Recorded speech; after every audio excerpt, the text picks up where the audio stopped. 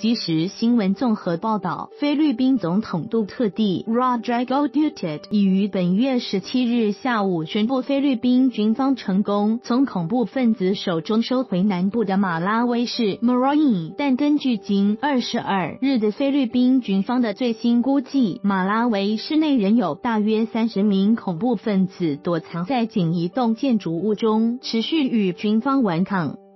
综合外媒报道，菲律宾军方发言人巴迪亚 （Restitato Padilla） 稍早表示，军方现在无法准确的估算恐怖分子的人数，因为获救的人质说法不同，估计大约还有十人左右，有可能还要多一点。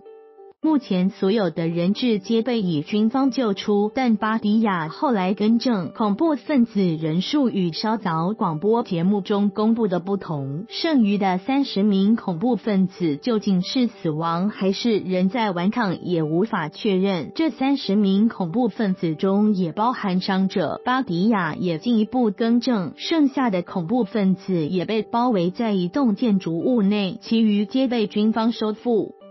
新伊斯兰国 （IS） 恐怖组织马乌德 （MOD） 在今年五月占领非南马拉维市以来，菲律宾政府军已与其交战近五个月。根据统计，截至十九日傍晚，军方在马拉维市击毙了八百九十七名恐怖分子，清理了一千七百七十七栋建筑物，但也有一百六十四名军警在过程中丧生，四十七名平民被杀害。